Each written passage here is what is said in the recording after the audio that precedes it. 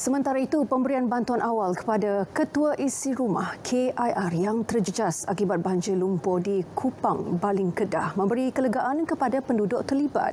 Bagi mereka, bantuan hadir tepat pada masanya tak kala mereka ditimpa musibah yang turut memusnahkan kediaman mereka. Kami mangsa-masa banjir ni sangat-sangat memerlukan bantuan dari semua pihak. Uh, apabila PM mengumumkan semalam nak beri bantuan kepada masa banjir, kami sangat-sangat bersyukur dan sangat-sangat mengharapkan bantuan daripada PM. Memang sangat-sangat kan. Alhamdulillah, terima kasih kepada PM yang uh, mengambil berat dan prihatin kan kepada mangsa-masa banjir ni. PM kita kan ada umur semalam yang cakap kata bantuan RM 1000 tu kan. Ya, terima kasih banyak kepada PM. Alhamdulillah setakat ni.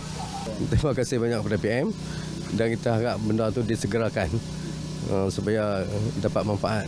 Sebab sekarang ni di sini tinggal selai sepinggang. Banyak barang totalis.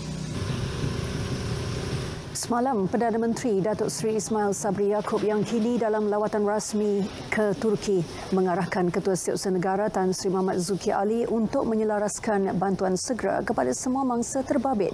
Bantuan awal kepada setiap KIR adalah bantuan wang isan sebanyak RM1,000, bantuan barang keperluan asas RM2,500, bantuan barangan elektrik RM500 dan pembaikan rumah. Semua bantuan awal membabitkan peruntukan kewangan RM500,000.